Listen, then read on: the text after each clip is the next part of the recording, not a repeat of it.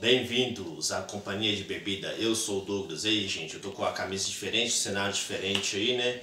Vamos falar sobre o whisky bourbon aí, ó. O whisky da fronteira. Ele até tem um rótulo meio de ladinho aí pra indicar que é o whisky da fronteira aí, ó.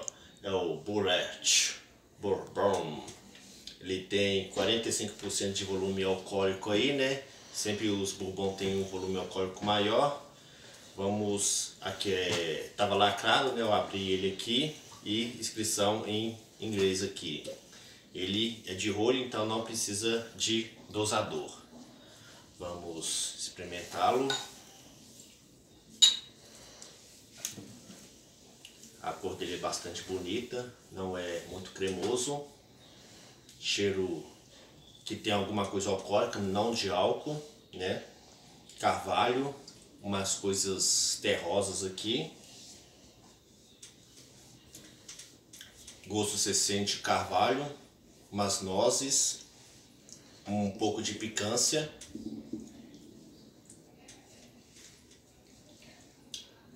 É isso aí, não tem muita coisa acontecendo, mas é um bom bourbon, um bom whisky, né?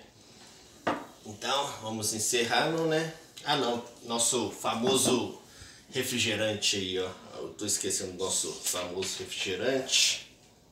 Um pouquinho de refrigerante. Vamos ver.